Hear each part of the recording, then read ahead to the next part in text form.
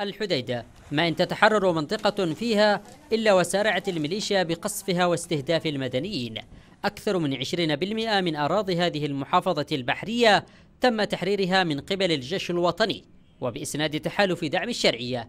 لكن الميليشيا الحوثية تبدأ بنصب مدافع جوار أي منطقة تتحرر. بشكل شبه يومي يسقط العديد من المدنيين بين شهداء وجرحى بنيران الميليشيا. خصوصا القصف المدفعي كما رصدت مصادر إعلامية أكثر من ألف ضحية بين المدنيين. وتعد الألغام التي زرعت الميليشيا عشرات الآلاف منها في حيس والتحيتة والدريهم وجنوب مدينة الحديدة. أكبر عائق للمواطنين والأسر. وحصدت الألغام أرواح المئات وجرحت آخرين خصوصا تلك الأسر التي تحاول العودة بعد النزوح.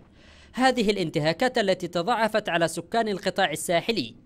جعلت استكمال تحرير المحافظة ضرورة حتى تنتهي معاناة القصف اليومي الحوثي. عشرات الآلاف من أهالي الحديدة لجأوا للنزوح بعد تهجيرهم من قبل الميليشيا الإنقلابية فيما نزح نسبة منهم إلى تعز على الرغم من الدمار والقصف الذي تتعرض له.